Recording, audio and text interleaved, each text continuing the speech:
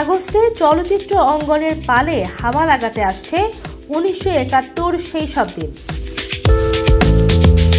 উনিশশো একাত্তরের আদলে গড়া এই সিনেমা নিয়ে শুরু থেকেই বেশ চর্চা চলছিল। অভিনেত্রী ও চিত্র পরিচালক হৃদি হকের প্রথম সিনেমা এবং এক ঝাঁক অভিনেতাদের কাস্ট করায় চর্চা চলছিল বেশ। আর সেই চর্চায় মশলা দিতে এলো সিনেমার প্রথম গান যাচ্ছ কোথায়?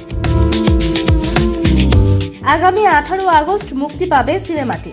এ উপলক্ষে প্রকাশ পেয়েছে প্রথম গান যাচ্ছ কোথায়। বঙ্গবিধি ও জাস মাল্টিমিডিয়ার ইউটিউব চ্যানেল ও উনিশশো একাত্তর সেই সব দিন নামে ফেসবুক পেজে গানটি প্রকাশ করা হয়েছে। প্রকাশের পর থেকেই মুগ্ধতা ছড়াচ্ছে গানটি। গানটিতে একটা নব্বই দশকের আমেজ পাবেন আপনি। একদম সাদামাটা একটা চিত্রকল্পকে অসাধারণভাবে ফুটিয়ে তোলা হয়েছে গানটিতে। গানটিতে উনিশশো একাত্তর সালের ঢাকার শান্তিবাগ এলাকা দেখতে পাবেন। গলি জুড়ে দু একটা দোতলা বাড়ি, বাড়ির সামনে লন্ড্রি।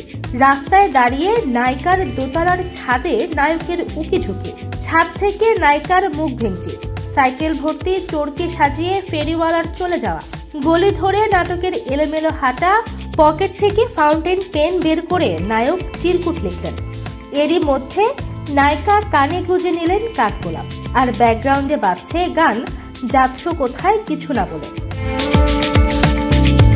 প্রচণ্ড রোমান্টিক এই আবহের মাঝে দেয়ালে বড় অক্ষরে লেখা সাহিত্য শাসন দিতে হবে। দেয়ালে লেখা এই স্লোগান জানান দিচ্ছে, সময়টা অস্থির। আর এই অস্থির সময়ে যুদ্ধ ও প্রেমের যে মেলবন্ধন, তা যেন খুব সুন্দরভাবে ফুটিয়ে তুলেছেন হৃদি হক। যাচ্ছ কোথাও গানের কথা লিখেছেন রীতি হক নিজে। সুর করেছেন দেবজ্যোতি মিশ্র, গানটিতে কণ্ঠ দিয়েছেন কামরুজ্জামান রনি ও ইশরাত অ্যানি পরিচালক ও গীতিকার হৃদি হক বলেন, যাচ্ছ কোথাও একটি মিষ্টি প্রেমের গান। কথা, সুর, সংগীত, গায়কি, সবকিছু মিলিয়ে যাচ্ছ কোথায় গানটি, শ্রোতার হৃদয় স্পর্শ করবে বলেই আমাদের বিশ্বাস।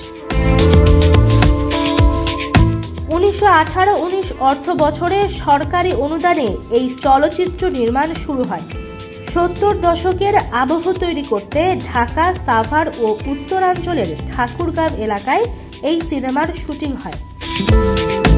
মুক্তিযুদ্ধের বিস্তৃত পরিসরে গড়া এই সিনেমা দর্শকদের মন ছুঁয়ে যাবে। সিনেমাটি এখন দর্শকদের সামনে আসার অপেক্ষায়।